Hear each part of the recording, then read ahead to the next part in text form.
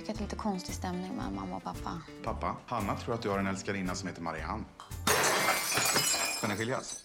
Det är inget sånt alls. Det kommer gå väldigt dåligt för mig om jag blir skilsmässobarn nu.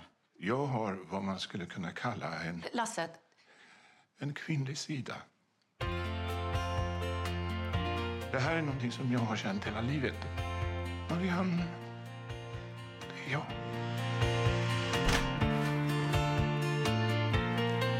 Förstår att folk i den här stan pratar va? Om man nu vill komma ut så är det en jättestark historia. Ämnet är superviktigt. Jag menar bara att det kanske gäller riktiga transpersoner. Inte min eh, pappa som har en 60-årskris. Är ni lesbiska nu? jag är inte lesbisk. Handlar det här mer om att känna sig rätt? Min pappa Marianne. Han är mycket lyckligare nu. Jag känner inte Marianne. Jag är rädd att förlora er allihop. Vän.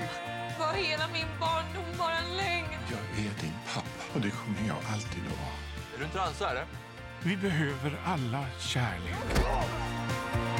När någon ser oss och älskar oss för den vi är, då kan äntligen det där sanna livet börja. Så länge han inte köper motorcykel och dejtar konfirmander så tror jag man får vara rätt nöjd.